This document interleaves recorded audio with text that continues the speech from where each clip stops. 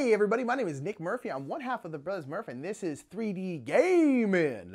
3D Gaming is a segment where I take our 3D printer, we have an Ender 3 3D printer, and I find something to 3D print for a board game. It could be an insert, it could be some kind of bling bling, it could be some kind of assisting thing, you know, whatever it is. The number one thing we like to print is things you put down in the comments. So go ahead and put stuff down in the comments that you want us to print.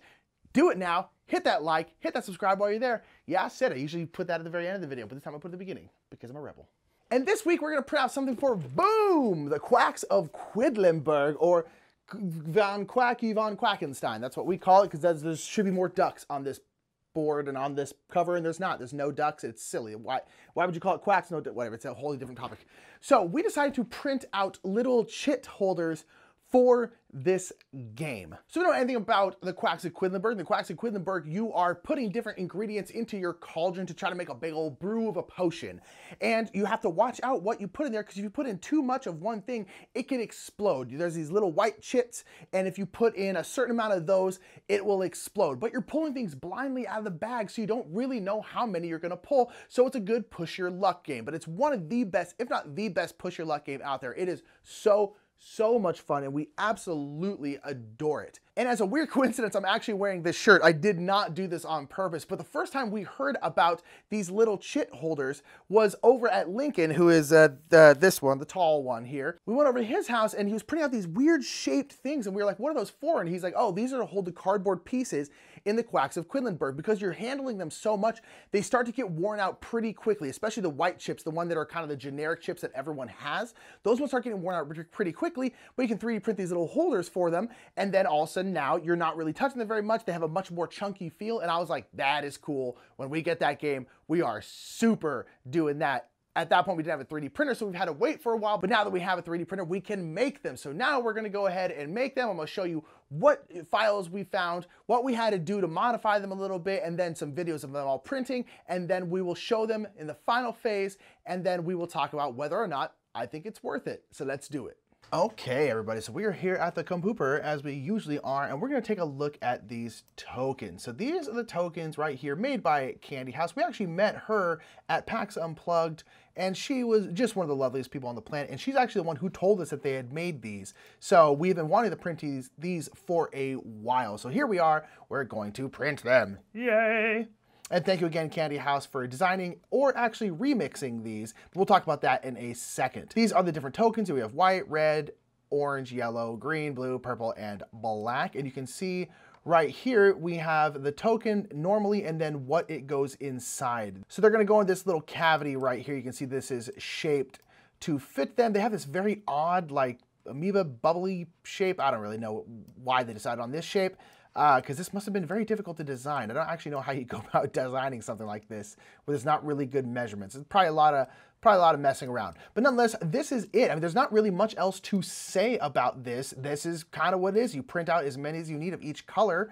Uh, we are going to have to tinker with the size a little bit um, as they say that each printer is a bit different. And this is a very, very uh, small area that we're working in. So we're probably to have to tinker the size a little bit, but that's okay. But one thing they do here, which is very, very nice, thank you Candy House for this, is tell you exactly how many you need for each. So again, so thank you Candy House for, for designing or remixing these. And I, I keep saying remixes because sometimes people put something out and then someone will go, hmm, I think I can change this or change it for my personal needs or remix it and make it better or whatever you're reasoning for.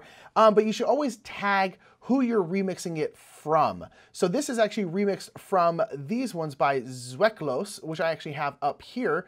So these ones right here, they took these um, and then uh, changed them and, and, and made them different, you know? And so these ones you can see, they're much, much taller and they have much less of a rim. So they actually remixed uh, these from this. We're gonna go ahead and print these ones from Candy House, one, because we like Candy House a lot, and also is because um, I like the fact that these are not quite as tall. You can see here, they're quite tall, on the board and I would like them to be a little bit shorter and that's what these ones are. These ones are quite a bit shorter than those ones. So we're gonna print these out. But nonetheless, it is cool that you can remix things from other people. This is a pretty common thing. But one thing you wanna make sure of is that I believe there is a Creative Commons license that means you cannot remix things. So this one, adapt, um, the share alike means you can adapt, remix, transform um, for any purpose, which is pretty cool.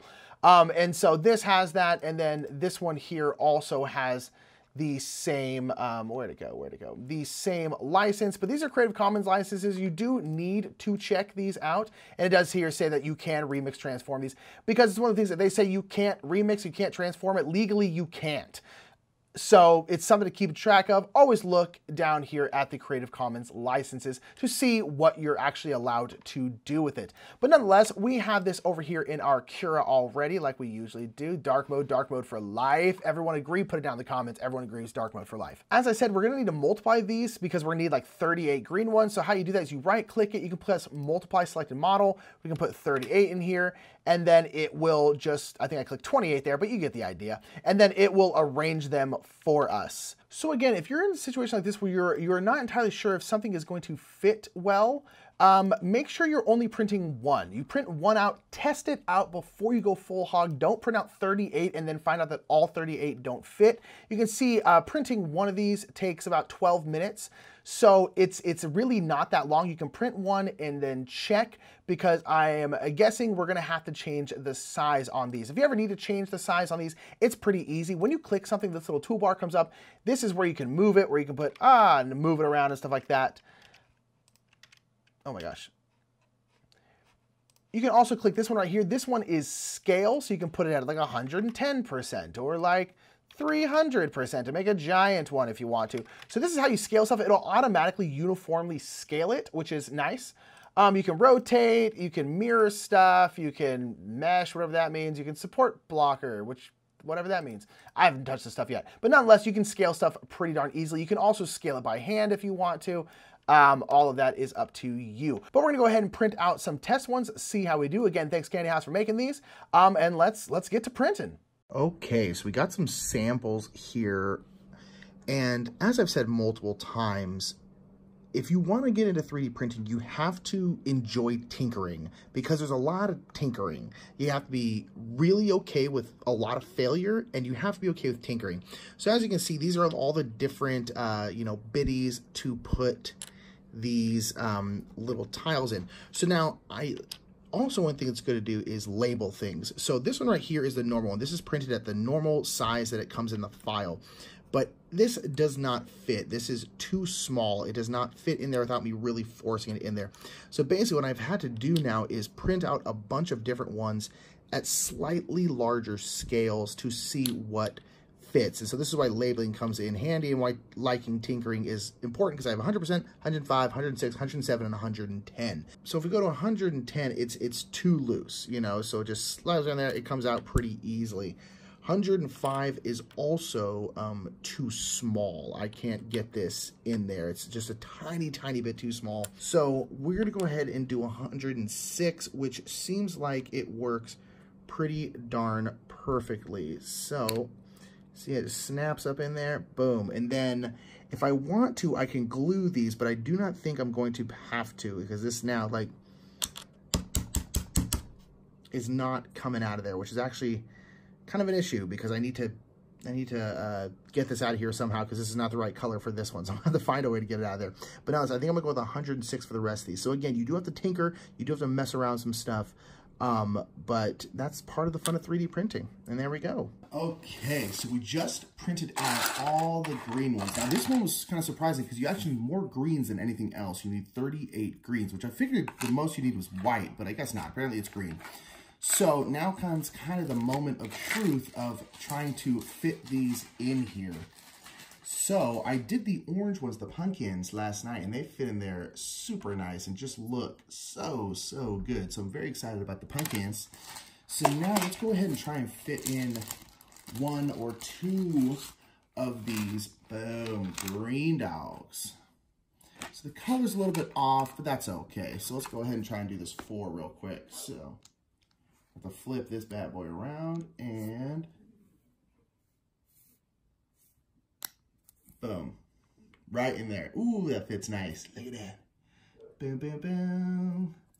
And that's nice and snug. It's not going to come out. Nope, we're good to go. Okay, okay. So we're doing this thing.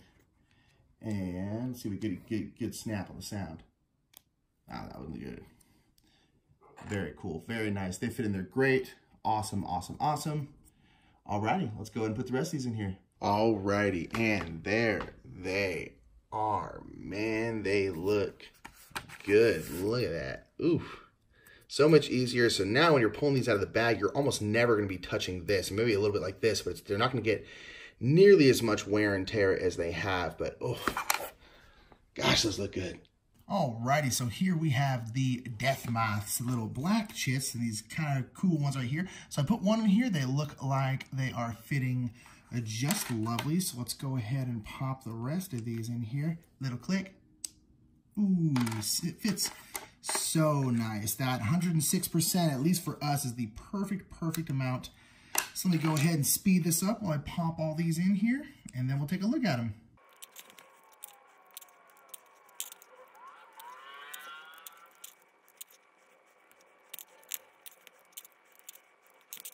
Alrighty, and there we have it. God dang, those look good. Ooh, I like these ones. Yeah, these ones look great. They fit wonderful. But here we go. All right, next one up is the blue ones, and we're just going to keep on going.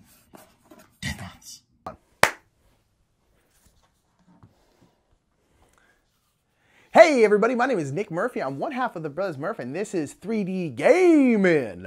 3D Gaming is a segment where Mike 3D Gaming is a segment where I take our 3D printer, we have an Ender 3 3D printer, and I find something to 3D print for a board game. It could be an insert, it could be some kind of bling bling, it could be some kind of assisting thing, you know, whatever it is. The number one thing we like to print is things you put down in the comments. So go ahead and put stuff down in the comments that you want us to print. Do it now, hit that like, hit that subscribe while you're there. Yeah, I said I usually put that at the very end of the video, but this time I put it at the beginning because I'm a rebel. And this week we're to print out something for Boom! The Quacks of Quedlinburg, or Von Quacky von Quackenstein. That's what we call it because there should be more ducks on this board and on this cover, and there's not. There's no ducks. It's silly. Why, why would you call it quacks? No, whatever. It's a wholly different topic. So we decided to print out little chit holders for this game. So we know anything about the Quacks of Quedlinburg. The Quacks of Quedlinburg, you are putting different ingredients into your cauldron to try to make a big old brew of a potion.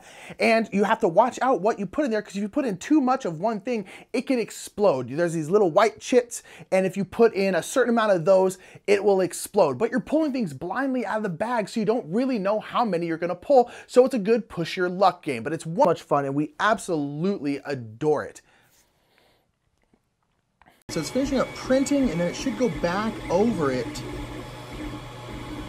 and then start the ironing. Yes, exactly. Yes, do the ironing. So again, now it's just melting that last layer it put on because this is the last flat layer before it starts building all of the walls.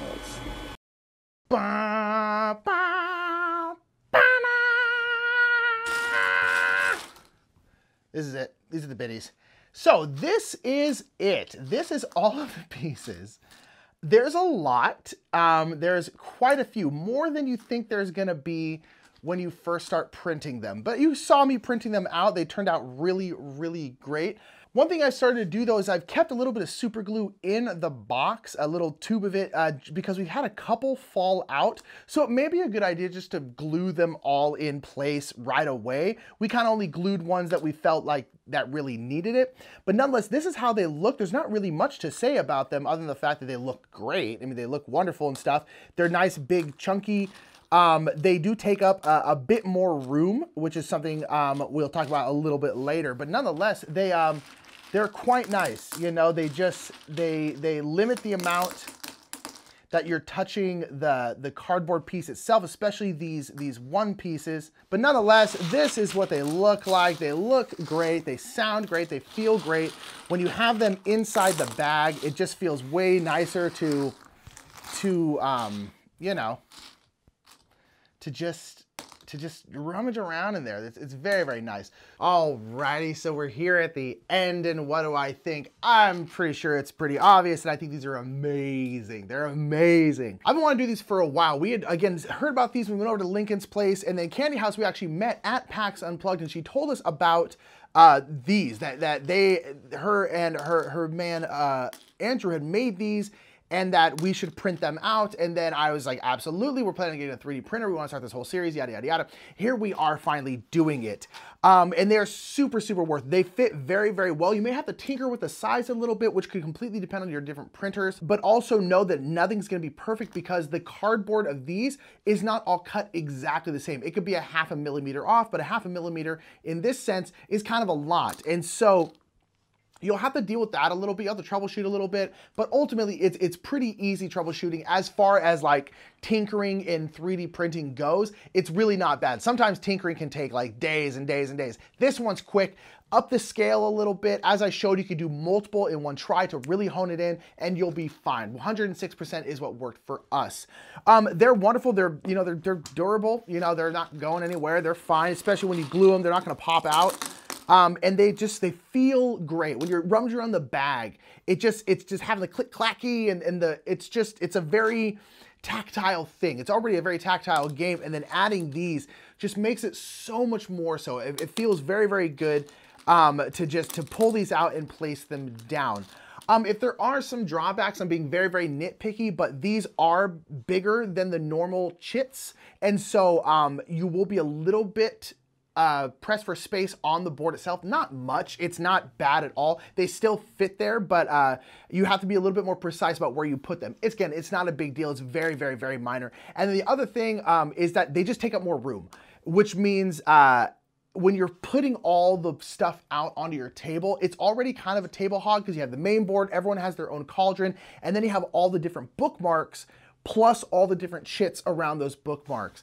And these now are, are uh, significantly larger. And so it's gonna take up uh, more space. It's just more of a table hog now, but it was already a table hog. Personally, I don't think it's a big deal, but it is something to be wary of. The fact that this is going to increase the, the, the blueprint of the game, the footprint rather, um, by a little bit. Not by anything drastic or crazy, but it will um, make a bit of a difference. So overall, I think they're amazing. I think they're wonderful. I think Candy House did a great job uh, remixing them from an old one.